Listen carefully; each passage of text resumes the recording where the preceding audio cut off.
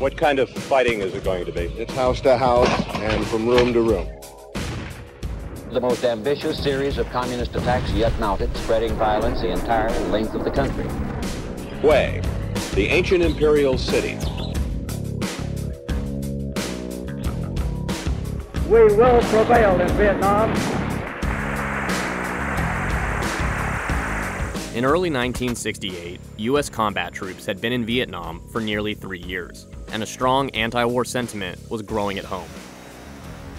Public perception of the war reached a turning point on January 31st when a 70,000 strong force of North Vietnamese and Viet Cong soldiers launched a simultaneous attack against more than 100 military and civilian targets, known as the Tet Offensive. And as it raged, it was apparent that these attacks were very well planned and very well coordinated. Hue was the cultural and religious center of Vietnam and had remained mostly untouched throughout the war. It is to Vietnamese what Old Boston is to Americans. Despite the city's strategic importance to the U.S., it was left largely undefended.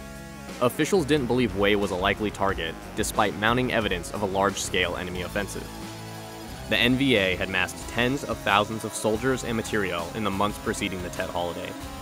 Tet is the first day of the Lunar New Year and one of the largest celebrations in Vietnam.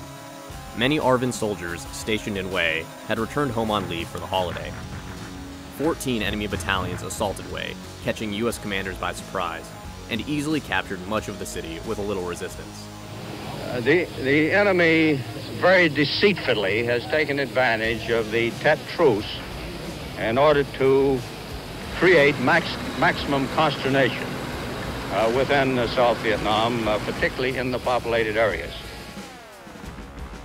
Two Allied compounds inside the city, the South Vietnamese 1st Infantry Division headquarters and a U.S. MAC-V base, were able to hold off the enemy until reinforcements arrived. It would now fall on Task Force X-Ray, composed of the Army's 3rd Brigade, 1st Cavalry Division, 2nd Brigade, 101st Airborne Division, and the 1st Battalion, 1st Marines, and 1st and 2nd Battalions, 5th Marines to retake the city, along with the 1st ARVN Division. Hue is divided into two districts by the Perfume River. The southern city, and to the north, the Old City, commanded by a massive 19th century fortress known as the Citadel. The Marines would clear the southern city, while the Army and ARVN forces handled the north.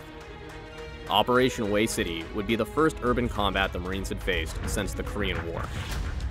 The Tet celebration became the fireworks of war.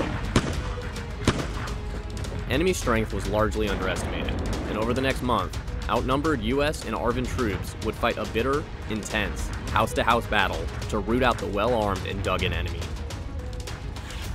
The fighting was often too intense to evacuate casualties. By February 10th, the southern city was in Marine hands, but the heavily fortified citadel remained under NVA control. Marines were sent north to join the fight. Constantly under heavy enemy fire, U.S. and ARVN forces fought through long, brutal enemy attacks. Momentum turned against the NVA when their supply lines were severed in the third week of February, and their resistance crumbled. On February 24th, ARVN forces raised their colors over the Citadel. Heavy firefights continued as the NVA withdrew, and on March 2nd, Operation Hue City ended.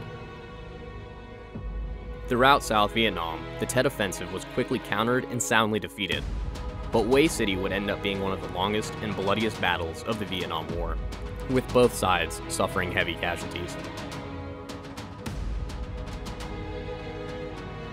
Officials have a poor record of interpreting this war. It will be difficult now, even more, for even more rather, to believe the United States has been doing as well as these officials have said. But it is increasingly clear to this report that the only rational way out then will be to negotiate, not as victors, but as an honorable people who lived up to their pledge to defend democracy and did the best they could.